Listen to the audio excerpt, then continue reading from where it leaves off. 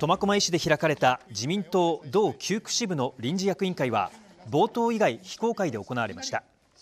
9区の支部長を務める堀井学議員をめぐっては所属派閥から2000万円余りのキックバックを受け取った問題などで苫小牧支部から次の衆院選候補者には認めないとする文書が出ています。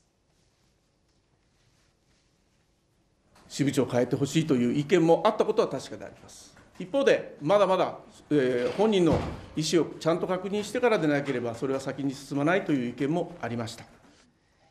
意見は堀井氏側に伝えた上で来月開かれる総会で改めて協議するということです。